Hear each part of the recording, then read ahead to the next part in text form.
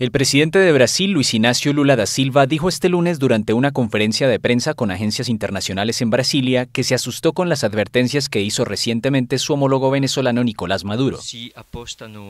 Maduro, de 61 años, presidente de Venezuela desde 2013 y aspirante a un tercer mandato de seis años, planteó el fin de semana que una victoria de la oposición en las elecciones presidenciales del próximo domingo podría desencadenar un baño de sangre. El 28 de julio. El 28 de julio se decide el futuro de Venezuela para los próximos 50 años. Si viene una Venezuela de paz o viene una Venezuela convulsa, violenta y llena de conflicto.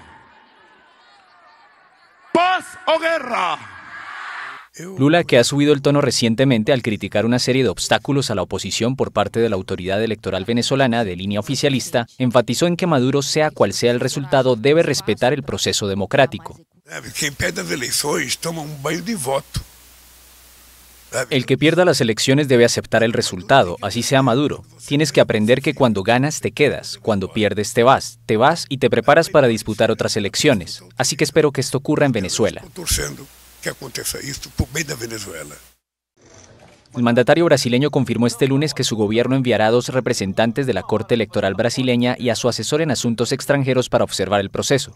Además hizo un llamado a que se levanten las sanciones internacionales que pesan sobre Venezuela y que espera que los resultados del próximo domingo sean reconocidos por todos y que esto permita el rápido retorno de Caracas al Mercosur que la suspendió en 2017.